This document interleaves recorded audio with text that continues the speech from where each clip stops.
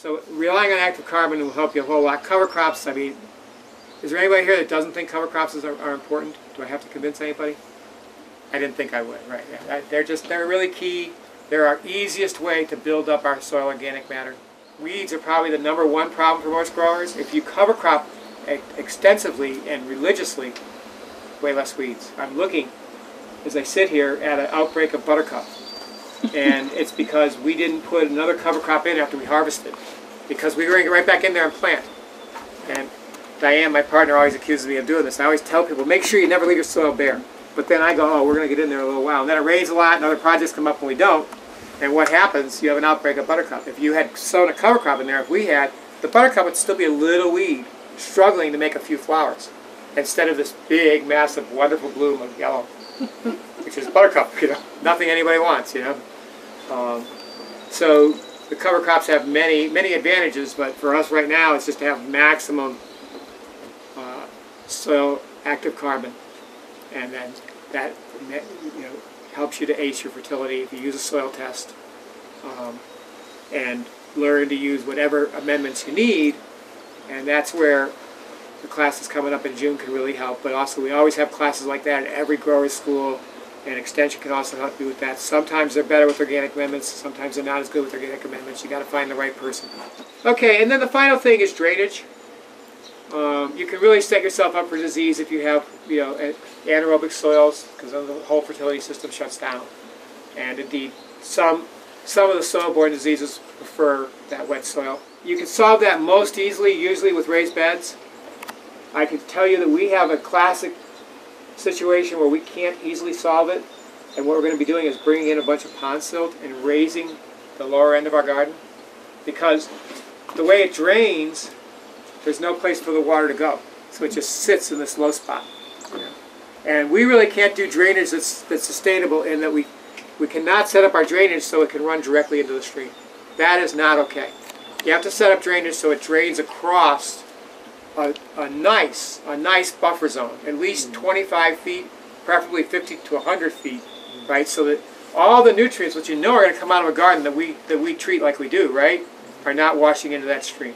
You know, that's just not not something we can do. Much as it would be very convenient, we just can't do it. When we get our heavy downpours and stuff, there's going to be some leaching. You know, I mean, systems overload. You know, and that's I mean, and indeed, streams wouldn't have fish if systems didn't overload because they need some of those nutrients. Yeah. You know, yeah. a certain amount is due to come in. You know, yeah. but you don't want to straight pipe a whole lot. You know, oh. from a concentrated area. Oh. You know, and then we also do amendments. Amendments sometimes we can't control the rain. Yeah. You know, mm-hmm. so we have something you know flushing down when we don't want it to. You know, we do compost tea app applications with fish, and you know, I think we got enough life that not as much would come through. But I just don't think we want to have you know that going that you know directly into a stream. Um, but what we can do is raise our beds up, get them high enough that it'll stay wet down low, and the roots just won't go down in that anaerobic area. You know? And so that's that's the only solution we have for this garden here. Sometimes you can do drainage, but really pay attention to how you're doing it. You know, pay attention to the rest of your ecosystem, and don't you know set it up so you're get, having you know strong flow from your garden into a, a body of water. Um, and those are the, the cultural practices you can do as far as, you know, the beginning, most basic stuff, you know. Um, then you want to pay attention to when you're planting and where you're growing to sunlight, you know. And I don't know how many times I, when I did the radio show, we would see that the problem the person had, why their plants were ill, or why they were doing low production was because they're trying to grow them in a forest, you know. Many, many, many home gardens are, have so many trees around them that they're suitable for shiitake mushrooms and hostas, which are edible, by the way. Yeah. But they just don't really suit garden vegetables. Garden vegetables are, by and large, prairie vegetables or edge vegetables, vegetables that grew on the edges of forest, not in forest, you know. So you just have to have five to six hours of sunlight before you want to think about growing vegetables. You know, I say that, but I always tell people, "I try, try. You never know." You know you might have more sunlight than you think. You know, you might get some bounce off of a roof or something. Who knows? And so I don't say don't try it, but really, if you expect success, five to six hours is pretty darn important. Yeah. And for things like tomatoes, peppers, eggplant, squash, you really need closer to eight to really do well. You'll get something with six, but it won't be very satisfying. Um, but that's just the beginning of thinking about the sun. Uh, you know, just jump a little ahead in the handout. Um, last year, we just wanted the tomatoes out. You know, and we decided where they were going, but we hadn't thought about, well, should we pay attention to where varieties go? And it was just like, a, get the tomatoes in the ground, 4 o'clock in the afternoon, we want another row in before we leave, you know? And so we just slammed the tomatoes in, you know? And then we looked at them growing, and we realized that there's that tree right out there that leans over the garden. We've cut some branches back, but that nice big maple there with the many um, trunks coming off it, it shades that end of the garden a lot in the afternoon. Now we've cut some branches off it, we're going to cut some more, but still, it means that, you know, the tomatoes are getting enough sun in high summer. They're getting their eight hours because the sun's up, you know, and strong enough to do something by seven, you know, and they've got sun by three, you know. But come three o'clock, they're going into the shade, you know. They're getting in the shade, they're staying in the shade. And indeed, one little patch right by the tree is in the shade probably by one o'clock. And had we had Defiant, which is a very disease-resistant tomato plant there, it may not have ever had a problem. But we had Brandywine. Brandywine tastes great, but it has no disease-resistant package whatsoever. it is utterly disease-prone. You know, it's put all of its energy into flavor, and that's what you get. You have to trade off. You know, you don't. You rarely get a tomato that can resist every disease, and then taste spectacular too. You know. You tasted the Defiant by any chance yet? Yeah. How is it? If it's dead, dead right, it's quite good. And that the, the genetics that originally were used in that came from I'm pretty sure from Randy Gardner. They give um, cred they give credit to uh, NC State because Randy was retired, but the genetics came from Randy. And I learned over time that that was his trick. I mean, I thought, God, these tomatoes. Used to joke that they were resistant to appetite, but they were really designed to travel well and then ripen completely. And I really got it completely when I talked to a farmer. I don't remember his last name, but his name is Billy up in Yancey County. He grows a lot of tomatoes and he grows Randy's varieties. And I said, yeah, you know, I guess it's, they got to be dead ripe. He said, Pat, the better retailers I sell to have the box sitting in the back and they watch the box. And when the first one rots, that's when they put the rest out. You know? And then they taste great. We're growing it for the first time this year, so I wonder Yeah. how they. Dead ripe. Dead ripe before that, Okay. but dead ripe, pretty respectable. Okay. pretty respectable and we brought in you know it's going to be i'm going to use this example a lot because it, it fits into what to do and not do we brought in early blight that started i mean i say, can't shouldn't say brought in it again is endemic it's here you know we got it you know but we allowed it to go into the outbreak stage by having those brandywines over there we had a period i think it was in july when it got really wet and cool a lot of days, and early blight was showing up little spots here and there. We were spraying, and we missed one day of spraying, and the next day, because it was raining, we couldn't spray. The next day, that row was just so blighted, and after that, all it was just ketchup all the time. We kept our tomato crop going, but we didn't have as good a production, and flavor wasn't as good because we had so much early blight pressure. And early blight is controllable. If you spray enough, you can control it. You know, we actually use copper and serenade, which I rarely use for early blight. Um, we'll talk about that more when we get into talking about sprays. But um, you know, with with spraying probably four or five times a week until we had it until we got into a hot dry period and it died way back.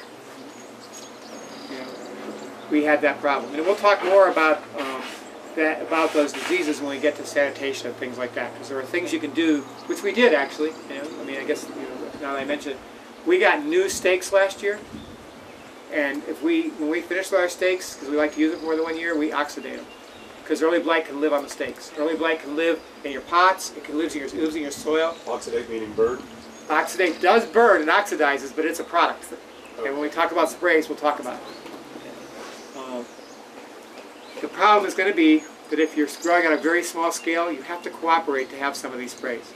Because you do not want to spend 150 bucks on that much oxidate. But if you buy it together and trust the warnings and wear gloves and put it in containers that you can then bring home that can allow it to vent if it needs to, it's fine to break it up, you know, and divide it up. And it's, it's a great product to have. But how many people here are going to spend 150 bucks on a pesticide?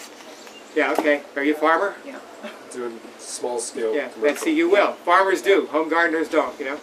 Uh, and a lot of those are now available in home garden in home gardener size. But um, yeah, you want oxidate. It's one of the tools you need. Yeah, you got. You're definitely gonna want it. You mean Um, at the end of the season Pardon? to clean all your, Clean. Yeah, clean it off. Yeah. Um, and then mulching. We'll get. We're gonna cover that again. You know, it's in the handout. But it, the we didn't get that. You know, we had early blight on. If you don't mulch and haven't used basic sanitation stuff with things like brandywine, it'll start showing up before it's even flowering. You know, I mean, it's just like, you know, it hits them fast. You know, just depending on the weather. You know. So Pat, if I'm not certified organic and I wanna do something practical and I have my area that I'm gonna have tomatoes climbing on again for the second straight year, would it be practical for me to make a one to ten solution Clorox? and spray? Absolutely. Yeah. yeah. Yeah, I'd love to get you to oxidate because, of course, the Clorox isn't good for you or the environment. yeah, You know. right, And so we should talk because we could probably get you some. ox- okay. You know. Is oxidate hydrogen peroxide? It is hydrogen dioxide. It's very similar. Is it the same kind as Purple Plus? Do No. is Isn't that water? okay. No, it's not. Pardon? How is that not water? Hydrogen dioxide. I, Oh wait, H2O is two hydrogen. Right, so it's HO2. yeah. And um, it's stabilized with acetic acid. It smells like vinegar. Um, And it's organic certified. organically certified, and take it seriously. Until you dilute it, it is dangerous stuff. Um, I thought that one of our um, employees knew about it. He didn't know about it. He was handling the undiluted stuff, and I had to have him rinse his hands for half an hour. Because I've ever spilled it on my hand, you know, even though I was trying not to. You get a little white spot, and then the skin starts coming off there. His layers, the outer layers of skin were just slopping off. I mean, he didn't get down to any wounds or anything, you know, but he was freaking me out, you know. Uh, and that was a big lesson to me to make sure that everybody's trained in it. So you use chemical gloves or whatever. It's good to use gloves, yeah, yeah. Uh, it's not, you know, it's, I, I think it would even get through a regular glove unless you really saturated it, you know. Um, which you really want to treat this in a way where that's not going to happen, you know. But you don't want to get it in your eyes, that's for sure. You know, you want to, in general, when you're using sprays, believe all the warnings. Do everything they say, you know. And a great lesson to me on that was years and years ago, way back about probably 1986. I went to one of the early Carolina Farm Stewardship conferences. It was in in a college. In those days, we didn't even we didn't have to have big, big hotels and stuff. And the integrated pest management expert for the state was giving a talk, and he showed the whole soup for you know disease, you know, for, for spraying. And I said, if I'm organic, I don't need to use that. So it depends where you spray. I said, about the only thing I spray is BT. He's like, oh, you don't need to use that. And all of a sudden, this pesticide watch activist who had been fired by the EPA sued, won, and used the money to start a pesticide watch group. Um, his first name is Eric, I forget his last name. Started talking real loud in the back of the room. I kept looking back, why are you being so rude, right? I got outside, I said, why are you being so rude? He said, I'm sorry, man. I got so mad when he said you didn't have to wear protection when you used BT. I said, what do you mean? He said, well, I don't know what's in there now, but you know, you can never tell what's in the inerts. And they used to put asbestos in the inerts in BT because it probably stuck really good. It probably stuck into the animal, you know. And the BT got injected because it's got those nice, you know, stick. Plus, they needed to get rid of it, you know. And that's been that was a that was a whistleblower article in the Express years ago that 60 Minutes looked at, but then didn't pick up. But this woman Andrea, this really great reporter they used to have, I might have been Green Line before it was even the Express. Um, she she had a, a EPA whistleblower said, yeah, they use pesticides to dump uh, hazardous waste. so what do you recommend for uh, protective gear when you're spraying? Um, get a respirator, Mhm. wear long sleeves, wear gloves. Mhm. You know, um, you It's gonna be fun in July. what they say. Yeah, you know, Yeah, a Tyvek outfit, I've worn one in July and. yeah, it's uh, no fun at all. makes you Yeah, sweat. yeah, Yeah. lot of weight. yeah, it's no No, fun at they're all. very I don't know that you need I Tyvek lose weight. Yeah, lose weight. for the kinds of sprays we're using. It's I like Ty, Tyvek outfits because I'm in shorts and short sleeves. I didn't remember long pants and long sleeves, you know. But here I tend to try and just have something to throw on, you know. And I will confess that I give this advice, but sometimes don't take it. Um, but that is not smart, you know, and you don't want to do that because you, even though things like Serenade's Bacillus subtilis, right? That's what it should be. But the nature of pesticide companies is that they're, um, they're, they're proprietary. You know, it's a trademark thing. You know, now if it's Omri approved, you know that we have an organization that has no financial interest in selling you pesticides and has a great interest, right, a mission in making sure that organic farmers have things that they can use that meet National Organic Program standards, if it's OMRI approved, then you know that they think it's pretty darn safe. That still doesn't mean that you shouldn't use the protection, you know. Um, Did you say you wear do wear a tie dye? I ever have, yeah. Here I tend to, I live right close to here when I'm working, so I can just go grab shirt and long pants. But I also just confess that sometimes I don't bother because I'm in a big hurry, you know. And I should, you know. I don't think that's good practice, you know. Um, and you know, I don't recommend it. I recommend that you read the read the label and follow it completely. You use respirator a lot of time. I use a respirator almost always. Face covering. Yeah, and you know You just don't worry about. what I'd like to do is find somebody clean shaven to do it because obviously it's a lot harder for somebody with a beard. Yeah. I also we use a uh, backpack blower sprayer, and we also pay attention to that rule, which is you don't spray when there's a wind that can make it drip. So if I'm spraying where it settles, and I don't walk too fast, then I can stay out of the great bulk of it. But I'm not fooling myself that there aren't atomized particles that are still coming down when I'm walking through there. Do you use the Stihl blower? I use, we have a Stihl that we haven't used yet. We just bought it used, but we also have a saw. And Solo what- blower. Yeah,